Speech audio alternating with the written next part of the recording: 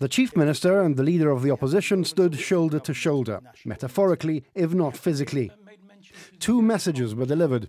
Politicians are working together, and Gibraltar is ready to start dipping its toes into easing restrictions. However, this is uncharted territory, and the government may have to pull back, although it hopes it won't have to.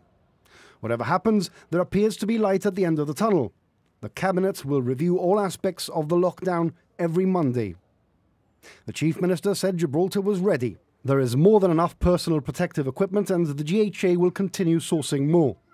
An exercise will be carried out at the Nightingale Hospital, and further ventilators are due to arrive. Gibraltar is therefore ready to start a gradual release of the lockdown. At the moment, there are 12 active COVID 19 cases on the rock, with 120 recovered. The Director of Public Health has advised that four conditions should first be met. The first condition is that the number of COVID 19 cases should be rising at less than six per day. That condition is currently met. The second condition is that the number of COVID 19 admissions to hospital should be less than three per day, and that condition is also currently met. The third condition is whether there are less than two cases of COVID 19 on ventilators in the intensive care unit. That condition, again, is currently met. And the fourth condition is whether there are more than 25% of cases in the over 70s. That condition is thankfully also currently met. With those four conditions met, we're ready to implement, first of all, the opportunity for the over 70s to go out to exercise. That will be the first relief measure. But the over 70s will not be released from lockdown in coming weeks. It is very likely that if you're over 70, lockdown will in fact continue for many more weeks, and I want to be upfront about that with you now. The second relief measure that we will be able to implement as a result of meeting the four conditions set out by the Director of Public Health will be to allow more businesses to reopen, but with strict conditions. We will make a more detailed statement on that in coming days. We expect the permission for some businesses to, to start to reopen will be effective from the 1st of May.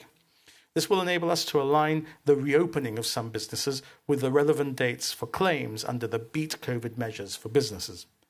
Fabian Picardo said they'd been moments away from a government of national unity and did not discard this happening in the future.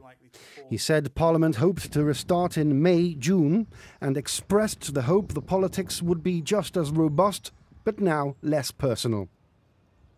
This was echoed by the opposition leader, who said the elected opposition had stark differences with the government, but always stood ready to work together on matters of public interest.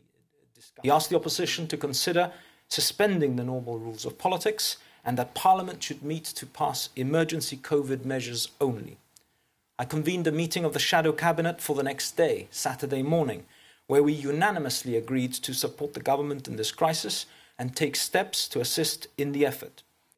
Keith Azopardi said that in parallel with any lifting of restrictions, there would be a need to jumpstart the economy in a safe and enduring way.